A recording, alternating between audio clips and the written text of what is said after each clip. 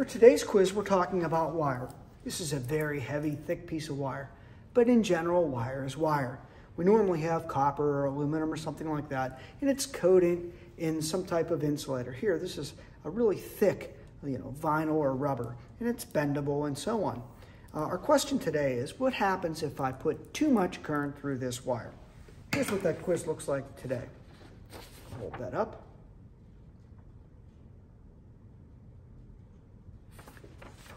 As always, mark your answer as completely as possible. Enlist your confidence. Typical student responses include wire and water analogies, and it's a really good one. So good thinking there. They think instead of electrons going through a wire, I have water going through a pipe. And they'll simply say, look, you can keep putting as much water through this pipe till it can't have any more, but nothing happens. So that's the first response. The second response is they say, well, wire gets hot where the water pipe doesn't. But that's about as far as they go. So that's the two typical responses that we get.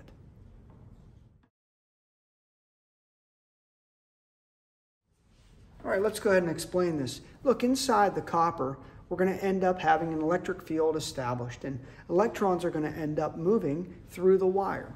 But as those electrons bump into other atoms or other electrons, they tend to take some of that kinetic energy that they build up and they dissipate that as heat.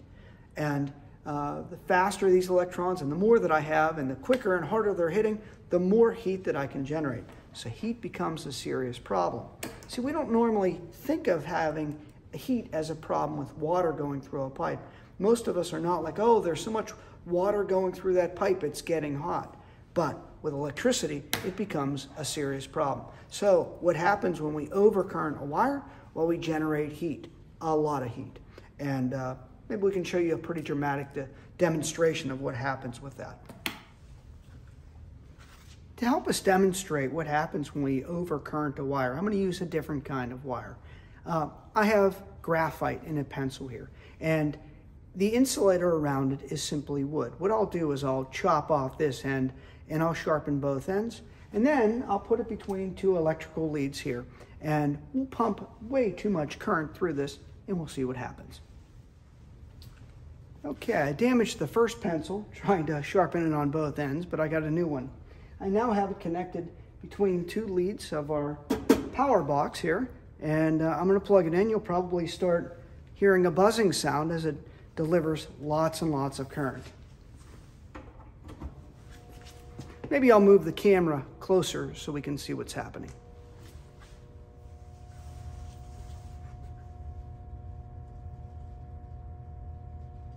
All right, right away we can start to see some smoke coming off on both ends. And this is what happens when you uh, over current a wire. I might have to turn on this vent so I don't have the smoke alarm go off. So I'm going to turn this on. But you can see very quickly that that's going to get very, very hot. And it appears to be turning red hot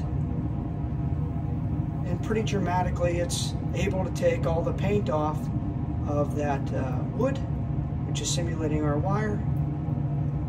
And it's going to get to the point where it can become a real hazard. Oh, okay, that, that caught on fire down here. So little fire that I need to put out. All right. All right, that was pretty dramatic. Uh, you can see what's left of our quote wire from the pencil and down below was the flaming insulation. So um, it's really important that you never overcurrent the wire because uh, all of that current is going to create huge amounts of heat and that heat can end up causing a fire. So in your house, don't ever demand too much current going through the wires because that situation can happen inside of our walls and you can burn down your house. All right, that's our quiz for today. Thank you for watching another Idealized Science Institute video. We are a nonprofit organization. If you like what you've seen, be sure to like and subscribe. And if you want, leave a comment below. It's helpful to us. If you can financially support us, go to our website and hit the donate button. If you can't, simply by sharing these videos with other teachers and students in your life will be helpful. While at our website, you'll find that we have our Idealized Science Institute book that'll help you engage your students in dialogic discourse.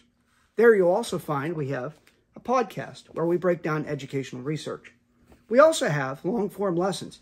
If you're a teacher, you can watch these and go in the very next day and enact these.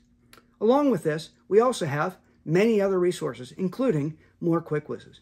So thank you for watching, and we hope to see you in the next one.